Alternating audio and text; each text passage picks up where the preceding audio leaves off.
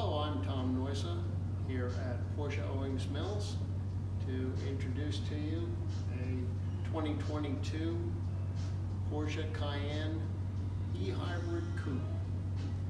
This car has some optional extras that are worth pointing out. The first is the PDLS LED headlights.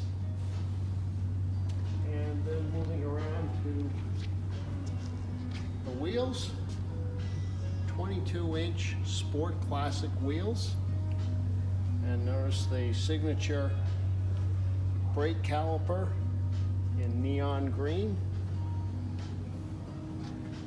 Car itself is in midnight blue metallic and features the silver finish trim around the windows.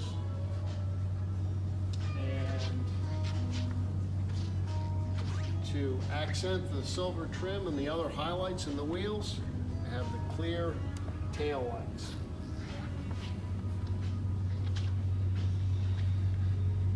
And next I will have another short piece on the tech equipment and driver selection accessories in the car.